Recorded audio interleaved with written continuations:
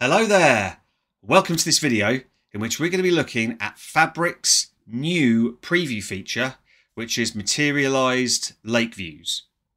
So this is a declarative feature. So what we're looking to do and use MLVs for is to define a loading process. So we want to take some data from our source tables. We want to do some transformations on it, maybe put some constraints to make sure that bad data doesn't get through to our destination. And we're going to want to chain some of these loading processes together. Now, if that sounds familiar, then yeah, plenty of tools on the market that do this. We've got DBT, which is a personal favorite of mine. We've also got SQL Mesh. And in Databricks, we've got Delta Live Tables. So if you're familiar with those services and features, then you've got an idea of what MLVs are all about. If you're not, really this is about declarative processing, where you're not having to manage the schema of a table or the dependencies in which certain tables have to load, you're declaring that through your transformations, SQL queries.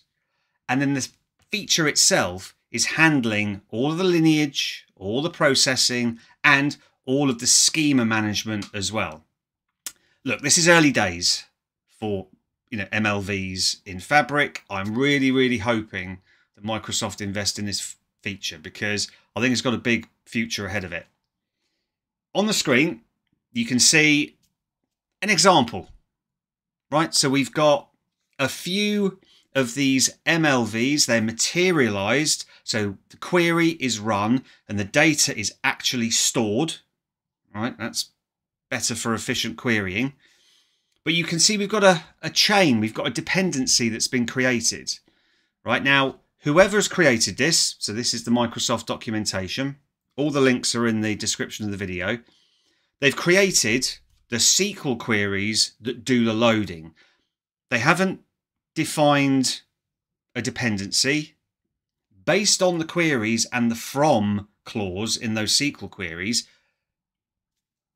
Fabric's MLVs has defined the dependencies. Now, to be quite honest, you can go through the documentation less than 30 minutes. I'm not going to parrot that documentation. What I've been doing with MLVs, I've been trying to find a way of working with them that I believe optimizes the process. The whole point of MLVs are you don't really want to have to manage the creation of the MLVs that's not really what you do in DBT. All you do is just define your transformations.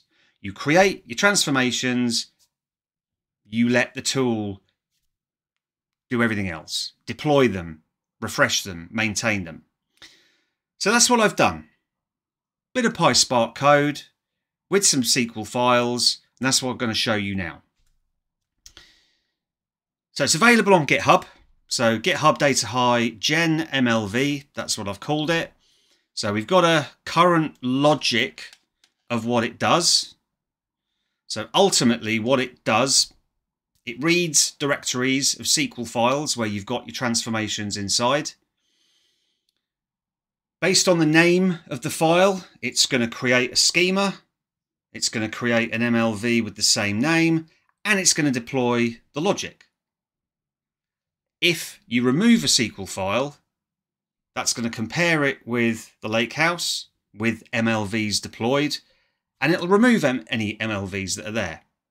Also, if you change the definition of a SQL transformation file, then the process will automatically pick up those changes and just deploy or redeploy the MLV that you've changed the definition for. It's early days. I'm kind of working with this alongside the current implementation of MLVs, and I hope that's going to kind of continue. But as an example, if I take you to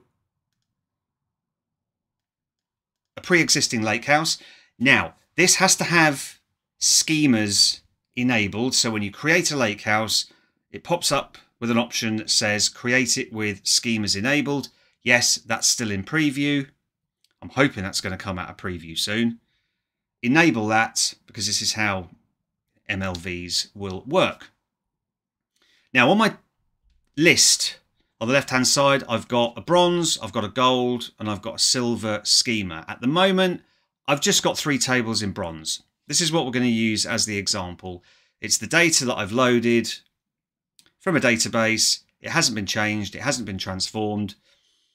What I want to do is create a silver loading process for those tables and then ultimately a gold.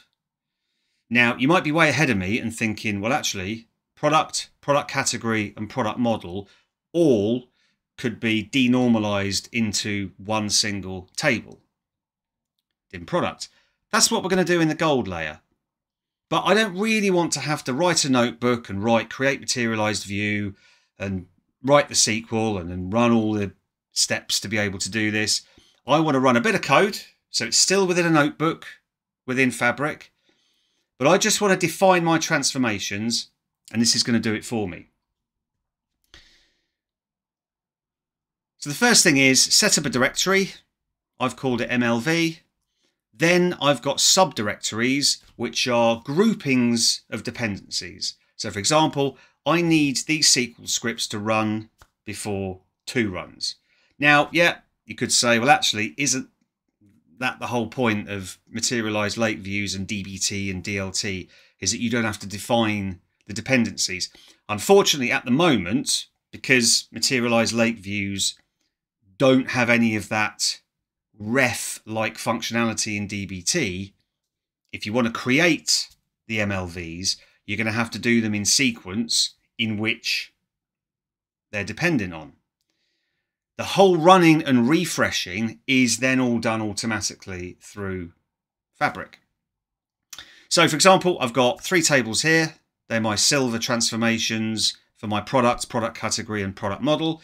If I go into product, look, we're not doing anything crazy here in transformations. It's not the point, right? The point is I'm just showing you the process that I'm following to make my life easier when working with MLVs.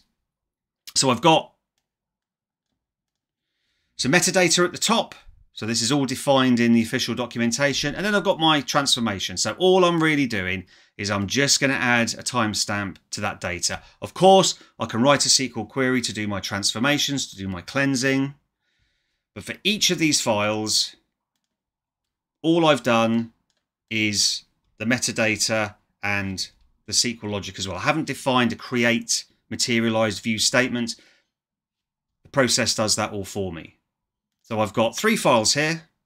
And then in my second folder of dependencies, I've got product. And if I open up product, then you can see that I've got a query that's joining those silver tables together to produce my final table. Again, we're not going to dive into the actual SQL here. It's just an example.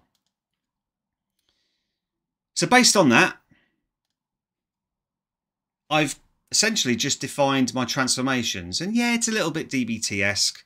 Maybe I'm sort of copying their process, but hey, it works in terms of managing things a bit easier. So now I want to run that process. So the GitHub account, it's got the code to run this. Um, as you can see, I've got the SQL files here. There's my gold file here. I'm actually going to go back to the root directory. And look, I've got a folder structure. If you define a different folder structure, that's fine. That's just where the root is. I'm actually using a JSON file, which is going to save the metadata of those files. So the location and name of the file, plus the last modified date of the file. What that means is if you go in and modify one of those files and rerun the process, it picks up the changes from that file and then redeploys and processes the MLV. Also, if you notice, we've got schema name before the actual name of the MLV that I want to create. So the code essentially just strips out the first part and says, right, I want to see a schema called silver. If it isn't there, I'll create it. And then the MLV itself will be created as the name of the file. So let's just run it. Let me scroll down to the bottom. And I'm going to enhance the code and modularize it and everything like that. But hey, this is about just getting it out, getting it out there for people to use and test with. So if we go back to here, and I'm just going to refresh the folder. So the code doesn't see that metadata file. So what it's going to do is it's going to run the creation of the MLVs, do it in the sequence in which that folder structure, you know, 01, 02, 03 is done. If I scroll down, it's done that successfully. And yeah, so we've got that metadata file that's appeared. So actually, let's go and have a look and open up that file.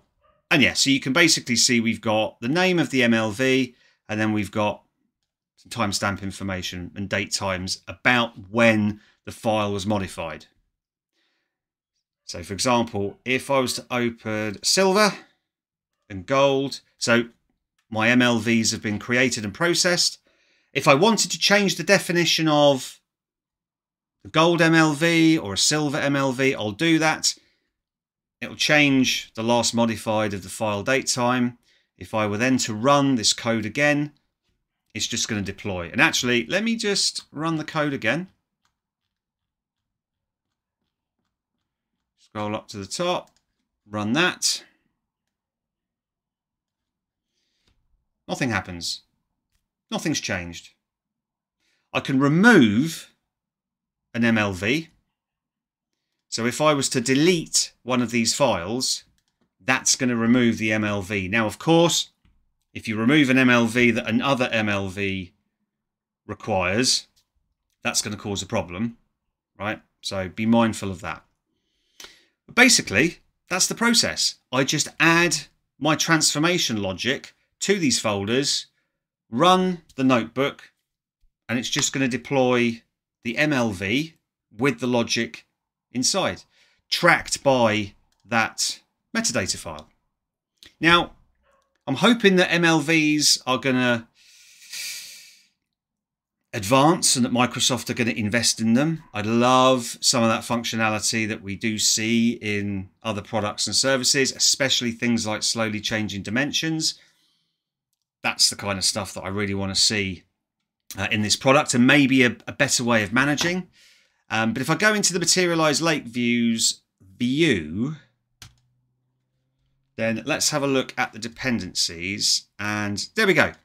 Yep. So essentially, there's my gold Materialize Lake View. That feeds from silver, product category, product and product model, which feeds from that bronze layer. The other limitation is that the lineage only works if bronze, silver, and gold are all in the same lake house.